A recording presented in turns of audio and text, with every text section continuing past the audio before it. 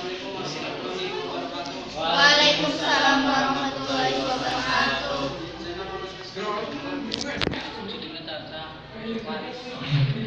Saya Ustadzan, saya sebagai ayah. Saya Tarini sebagai Andini. Saya Gusmawati sebagai Citra. Saya Kasa Putri sebagai Sekar. Saya Nurul Kamalia sebagai Janda dan Ibu. Inilah drama dari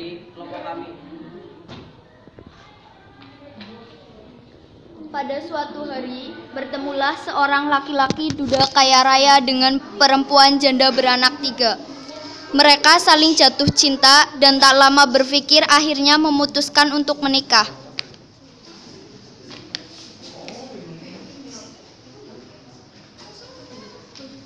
Wahai engkau wanita idamanku, mau kau menikah denganku? Baiklah, tapi dengan syarat kau harus menerima ketiga anakku dari keluar dari pernikahanku dulu. Baiklah, tak apa demi cintaku padamu, aku akan semua menuruti permintaanmu.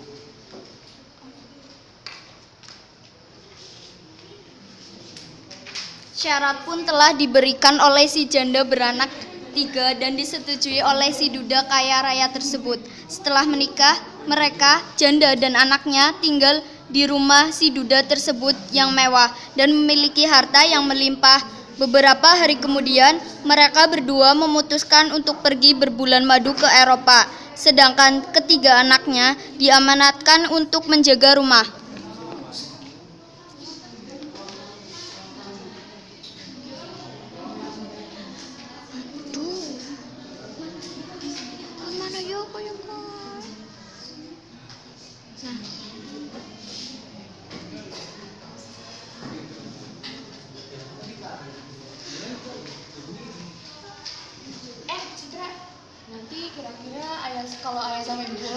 Mereka bawa di baru untuk kita? Kamu itu bisa aja sih, ah ngaco kamu. Mungkin aja bisa, jangan salah. Oh iya, kira-kira ayah sama ibu pulang bawa apa ya? Apa mereka bawa mutiara atau keberlian ya? Kemungkinan sih iya, tapi lihat aja deh nanti. Setelah mereka berbincang-bincang, kemudian mereka masuk ke kamar masing-masing. Beberapa hari setelah itu, ayah dan ibunya pulang.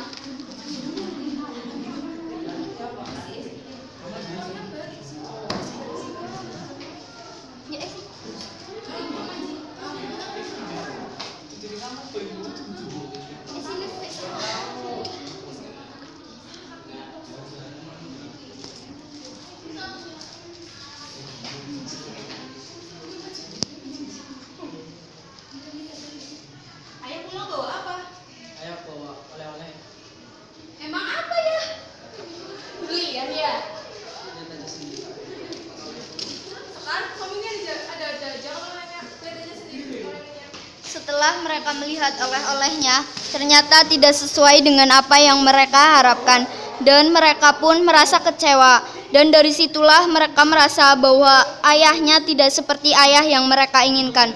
Suatu hari, mereka meminta sesuatu kepada ayahnya, tetapi ayahnya membatasi keinginan mereka.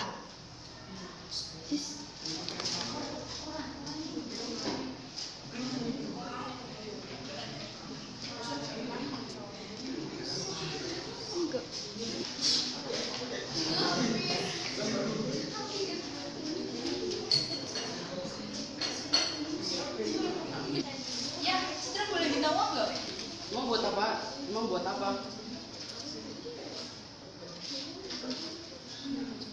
Emang, emang buat apa? Kan uang kemarin udah habis. Emang buat apa aja sih? Udah habis buat shopping. Iya dong ya, kan kemarin udah habis. Kemarin shopping, mau shopping lagi. Iya lah ya, kan masih kurang. Alam ini boros sekali. Emang buat apa aja? Ya namanya juga anak perempuan pasti banyak kebutuhannya ya. Kalian harus bisa lapar dong. Ya udahlah, dasar pelit. Setelah mereka berdebat kecil, tiba-tiba ibunya datang memberi kopi untuk ayahnya.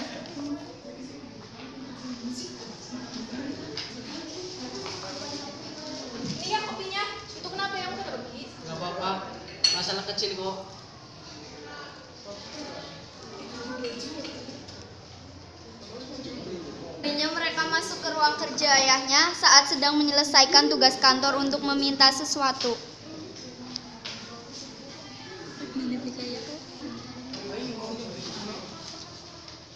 Ya, beliin kita mobil dong. Kan udah ada mobil. Iya, iya, mobilnya kan udah jelek. Kita malu sama teman-teman. Iya ya, kita kan malu sama teman-teman kita. Intinya mau beliin apa enggak? Kalian ini, Ah, iya. Kalau ngomong nanti terus. ya udah dah, nanti Suatu malam, sang ayah berbincang-bincang dengan ibunya. nanti ayah beli harta dari harta ayah 50 persen untuk ibu dan 50 persennya untuk panti asuhan. Ayah serius. Ayah serius bu, Ya udah terserah ayah aja. Terus Wah. bagaimana dengan anak-anak? itu nanti tenang bu, nanti urusan ayah itu mah. Dua hari kemudian, saat anak-anaknya kumpul bersama, ibunya menghampiri.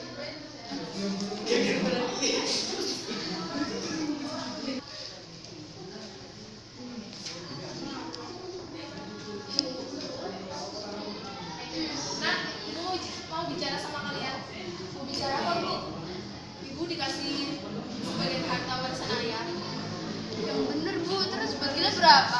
Masalah itu ibu nggak tahu. Coba dong, Bu, tanya ke ayah. Ah, ibu, ibu gak enak. Ibu pergi dulu ya. Setelah mendengar cerita ibunya, lalu mereka bertanya kepada ayahnya dengan lancang mengenai harta warisan tersebut. Tiga. Ya, berapa persen harta warisan buat kita?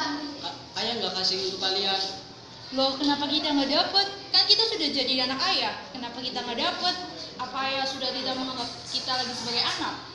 Loh, kalian kok berpikir seperti itu? Ya jelas lah, ayah aja gak kasih sekali sen pun harta warisan ayah buat kita. Itu bukan urusan kalian, itu urusan ayah. Setelah mendengar jawaban dari ayahnya itu, mereka merasa kesal karena mereka tidak diberi tahu rahasia apa yang disembunyikan oleh ayahnya. Dan tanpa berpikir panjang, mereka berencana untuk membunuh ayahnya.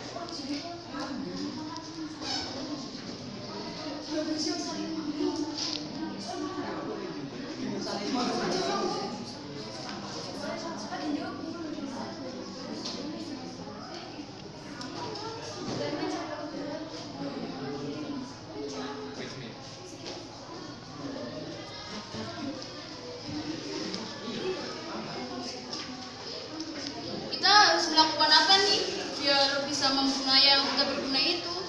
Bagaimana kalau kita membuat minuman, minuman tapi minuman itu dikasih obat yang berbahaya? Boleh juga tuh. Pasti ayah atau ayah tidak akan curiga kalau minumannya nanti sudah kita campur obat berbahaya. Ya udahlah, jadi biar aku aja yang membeli obatnya. Nih uang. Ya udah sana, jangan sampai ayah atau ibu ataupun ibu curiga. Pakai.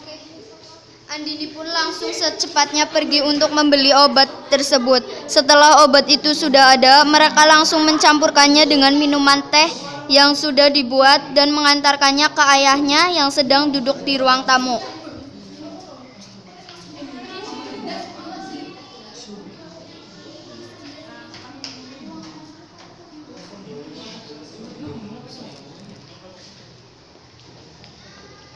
Ayah, nih ya tehnya buatan kita bertiga.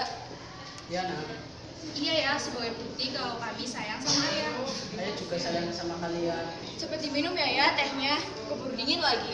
Ya nak, Sang ayahnya, keesokan harinya, sang ayah merasa kepalanya pusing dan tubuhnya tidak bisa digerakkan. Saat mereka mengetahui keadaan ayahnya itu, mereka merasa sangat senang. Mereka melakukan perbuatan jahat mereka setiap hari sampai lama-kelamaan ayahnya pun meninggal. Ibunya kaget dan bingung apa yang menyebabkan suaminya itu meninggal karena Padahal dia selalu memeriksakannya ke dokter pribadi suaminya itu. Tapi ya sudahlah, istrinya mengikhlaskan suaminya yang ia sayang itu pergi dari kehidupannya karena memang sudah takdir dari yang di atas.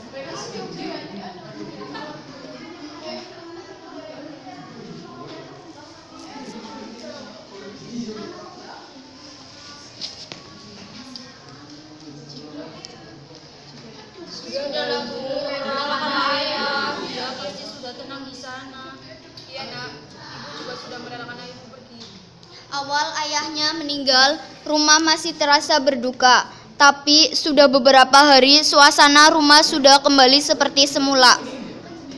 Tanpa diketahui oleh ibunya, ketiga anaknya menggunakan harta kekayaan ayahnya untuk berfoya-foya yang tidak jelas, seperti setiap malam pergi ke diskotik diam-diam dan bergaul dengan laki-laki yang tidak terlalu mereka kenal.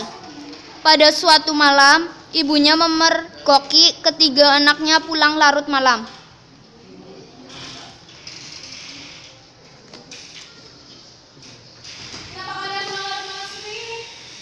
Baik banget sih.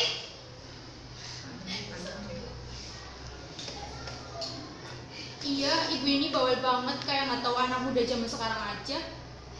Kalau di rumah terus untuk bu, kami bosan, makanya kami pergi jalan-jalan. Udah lah bu, kami bosan cer- ceramah ibu terus. Setelah berhari-hari, mereka bertiga selalu pulang malam. Salah satu dari mereka ada yang merasakan akibatnya karena selalu pulang malam. Citra merasa dirinya sudah dua minggu telat datang bulan seperti wanita pada umumnya. Setelah dicek olehnya, ternyata dia hamil oleh seorang pria yang baru ia kenal pada sebuah diskotik beberapa minggu yang lalu. Lalu Citra menceritakan semuanya apa yang telah dia perbuat kepada salah satu saudaranya yaitu Andini.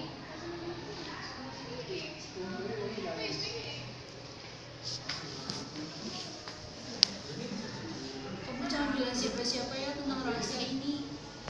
Baiklah Citra. Terus apa yang kamu akan lakukan dengan kehamilanmu ini? Apa kamu mau menggugurkannya? Entahlah, kita lihat apa yang nanti akan terjadi. Tanpa ada yang mengerti, dia memilih untuk bunuh diri daripada ia harus menanggung aib keluarganya.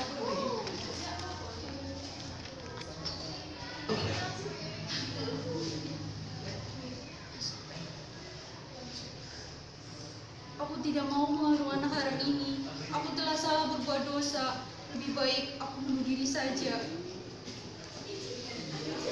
Ibunya menemui Citra telah berbaring penuh dengan darah. Sambil menangis melihatnya, dia tidak tahu apa yang menyebabkan anaknya Citra bunuh diri. Lalu suatu ketika setelah kejadian itu, Andini menceritakan tentang penyebab Citra meninggal karena dia hamil.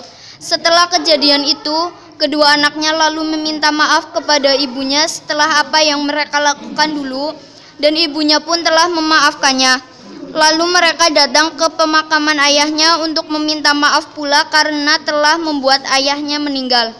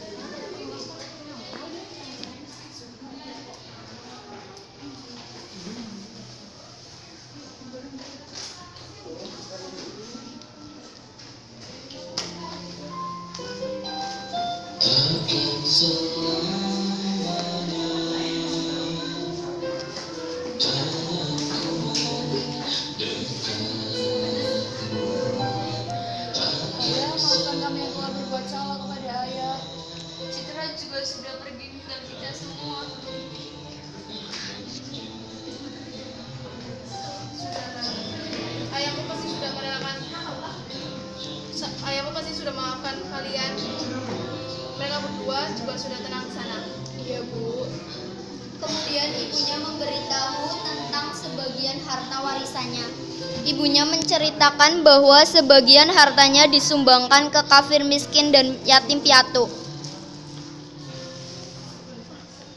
Sebelumnya, sama kalian. Kenapa ibu minta maaf kepada kita? Emang ada apa? Sebenarnya harta warisan sebenarnya ibu merahasiakan harta warisan tersebut.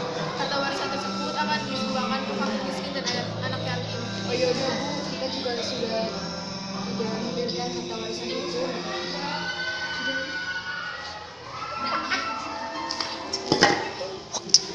Setelah itu pun mereka hidup bertiga bahagia dan tidak ada lagi masalah yang menimpa keduanya.